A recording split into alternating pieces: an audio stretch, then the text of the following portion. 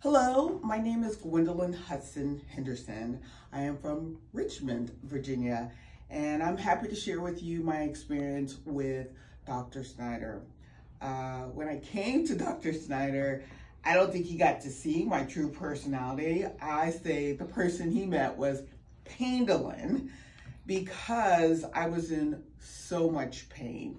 Uh, my back pain and neck pain had gotten so bad that I was using painkillers, muscle relaxers, uh, chronically to the point where they stopped working. Nothing was working. And yes, I know I needed to stretch and exercise, but even the exercises I was doing was making the pain so much worse. I mean, I'll be honest, my husband dragged me in here. I didn't come skipping in. I was afraid of the cost. I didn't know what the treatment would take. I didn't know if it would work, but it has.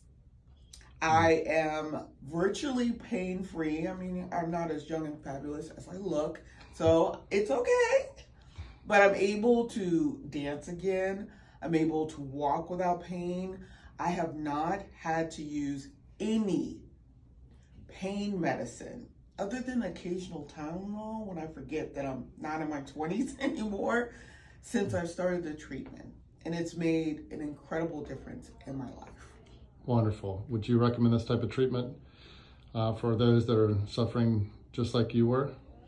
I absolutely would. Um, I also want to mention before I came in, I did my research.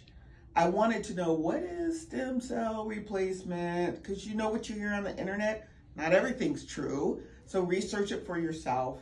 And then I attended the educational seminar too, which confirmed the research I had already done. So by the time I came in for my appointment, I kind of had an idea of what treatment was my last resort and I was ready for it.